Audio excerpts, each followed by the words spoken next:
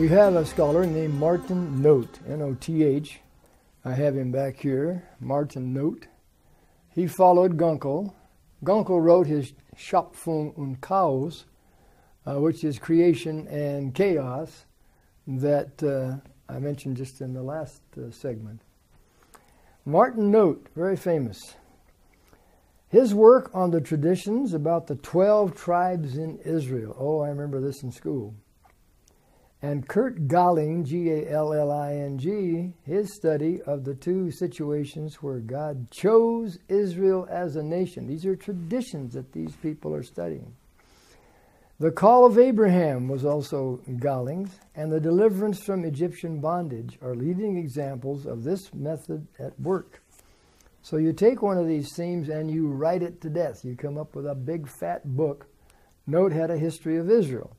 And his history of Israel had a lot of this in it.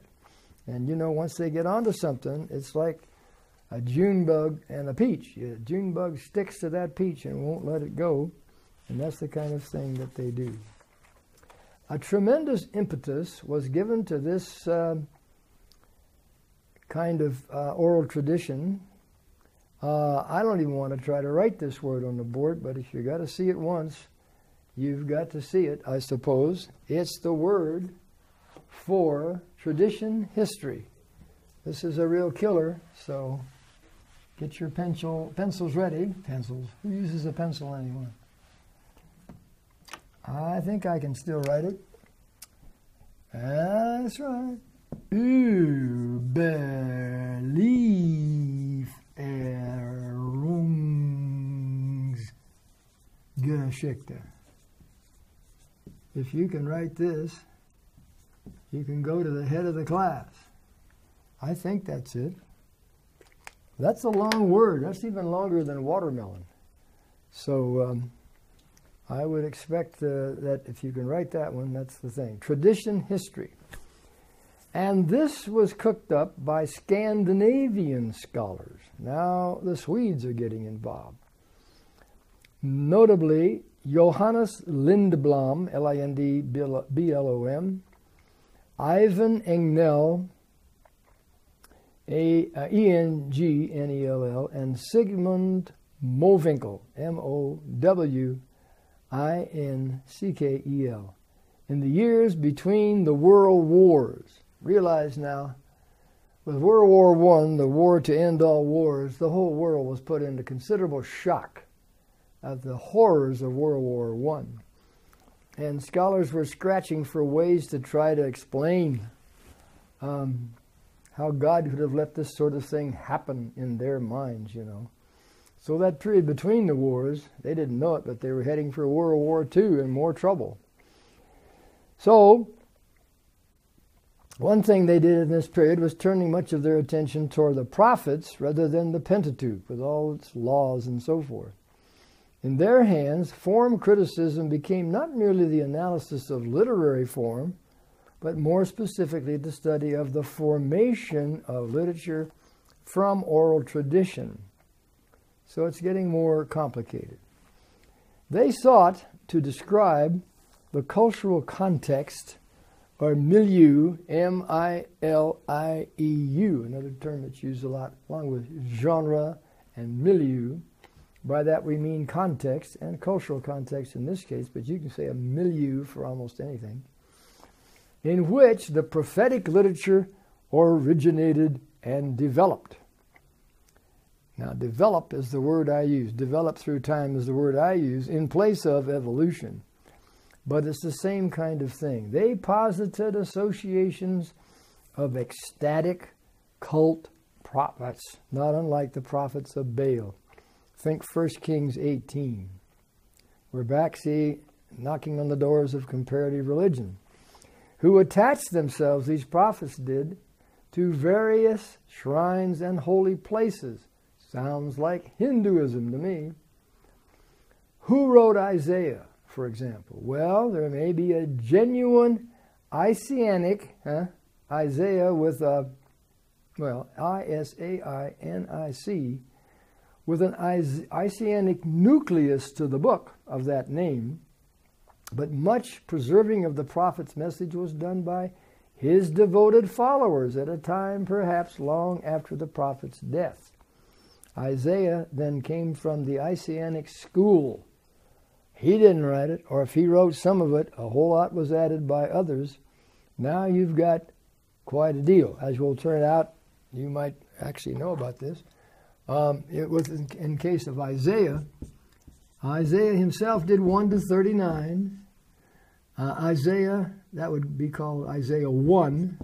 The second Isaiah, one of these uh, followers and associates, did 40 to 55, 6, 55, right in there. And then there's the third Isaiah, who did 56 to 66. I might be off just one there. But that makes for three Isaiahs. And what kind of um, book is the Old Testament anyway if they have one Isaiah doing the talking, and yet this was all, parts of it were all done later? Why the later? Well, they don't accept um, prophecy. There's no prophecy in their minds. It's all history. So you've got to take this out to other groups. So this would be the time of Isaiah. This would be the time of the Babylonian period in Israel's history, and this would be the Persian period.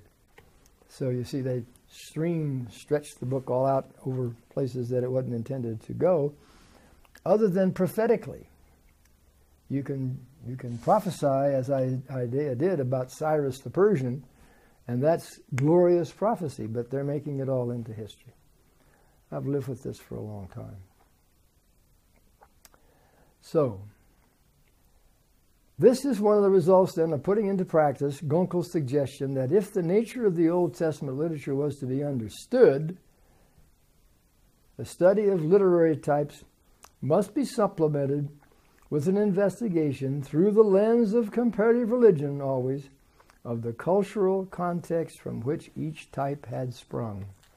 I've seen that carried out in New Testament studies too. People talk, well, that such and such couldn't have happened because of the cultural period, or they they throw out some kind of cultural period and then try to make the Bible add up to it. And um, history is not history with some of these people.